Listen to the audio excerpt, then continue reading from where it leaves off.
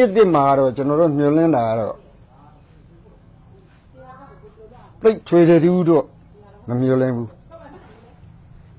လေးသုံးချက်ကိုမပြင်းတဲ့ရွေ့ကျွန်တော်တို့တိုင်းသားတွေရဲ့အတိတ်နာကပြစ္ဆုတ်ပါဘယ်တော့မှအရှင်နဲ့ကောင်းမလာဘူးလေးသုံးချက်ကိုပြင်းကိုပြင်းရမယ်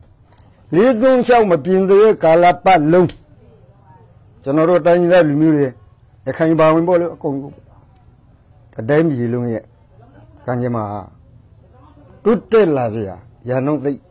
မရှိဘူးဟိုကွန်ကရစ်နဲ့တုန်းကပေါ့လေဟိုကျမတို့ရခိုင်ပြည်မှာအထီးပြုံးနေပါတယ်ဖြစ်ဖြစ်မှုတယ်လေအာအခုကျတော့ဒီလာမည့်နှစ်မှာရခိုင်ပြည်သူပြည်သားတွေအတွက်လေအေးအေးချမ်းချမ်းနဲ့ဟိုရှိုးရှိုးမွေးမွေးဘာမှမဖြစ်ဖြစ်နဲ့ဟိုစီးပွားလာလာပါလောက်ခင်စားသားပြီးတော့ ဟိုပြည်သူပြည်သားတွေအားလုံးရှိုးရှိုးမွေးမွေးအဆင်ပြေပါပြေဖို့အတွက်ကိုကျမညွှန်လင်းပါတယ်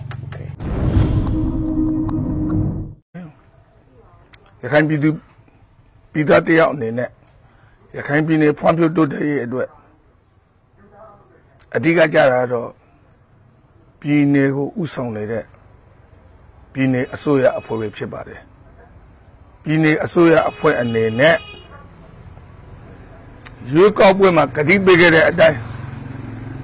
ဝင်လင်းမြင်သာမှုရှိရှိရခိုင်ပြည်နယ်ရဲ့လူမှုရေးစီးပွားရေးအမျိုးဘာသာသာသနာအရေးကိုပြည်သူပြည်သားသိရှိအောင်ပွင့်ပွင့်လင်းလင်းမြင်သာအောင်ရှပြပြီးတော့ရခိုင်ပြည်နယ်ရဲ့အကျိုးကိုလက်သိပ်ထိုးပြီးတော့မဆောင်ရွက်ပေနဲ့